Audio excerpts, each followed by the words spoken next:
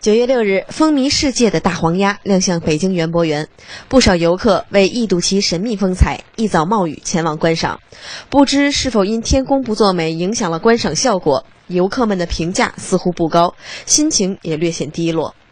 六日上午七点三十分，中新社记者来到北京园博园，由于还未到开园时间，再加上天空一直下雨，正在充气的大黄鸭则独自在园博湖上静静地漂浮着，气氛稍显冷清。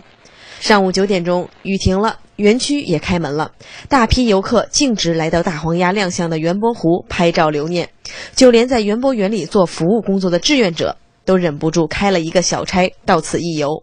那就是说，九月六号开始，大黄鸭就是首秀在园博湖嘛，然后就专门选这一天来做那个选河堤路上来做志愿者，顺便可以看一下。今天一大早就来了，大概是九点多，然后发现这边人已经很多了，然后。就从上面那个观景平台下来以后，看远远的看到这大黄鸭，其实当时心里就特别兴奋，第一时间就拍了微拍了照发了微博。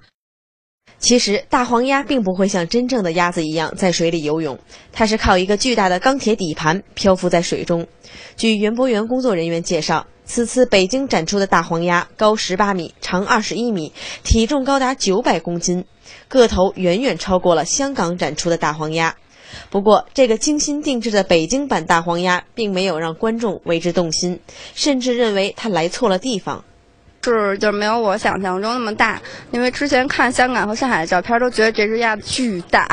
然后就见了它之后，就觉得好像有点蔫儿吧了。估计一会儿一会儿今儿下雨，到时候人多点儿年地儿，年轻人多点儿地儿，什么后海啊这一类的，我觉得应该会比较好。嗯，觉得太空旷了，是吧？对，就完全就是觉得没有那个。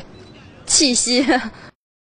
其实记者也发现，园博湖里的大黄鸭的确不够肥硕饱满，瘪瘪的鸭嘴看起来像一只上了岁数的老黄鸭。究竟是什么原因？据几名坐着小船在大黄鸭周围忙碌的工人透露，原本早已拖下水固定好的大黄鸭。由于湖面水位的下降，导致鸭身略微倾斜，他们正在抓紧时间调整。待位置调整，他们将加大充气量，最终保证大黄鸭圆润饱满。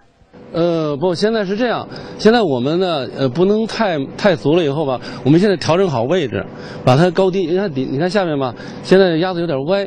由于这个水位的变化，鸭子有点歪。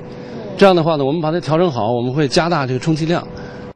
田玉海说：“这只充满气的大黄鸭，平时也需要一台鼓风机，二十四小时不间断的转动来保持它的身材。”据悉，北京版大黄鸭将在园博园内停留至九月二十三日。